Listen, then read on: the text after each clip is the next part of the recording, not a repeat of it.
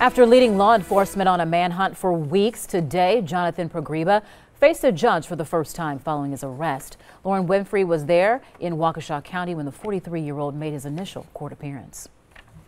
Pogreba walked into the courtroom shackled and blank-faced, and the penalties for him have now more than doubled. He also now faces two additional felonies, and if convicted, he could spend more than 43 years in prison.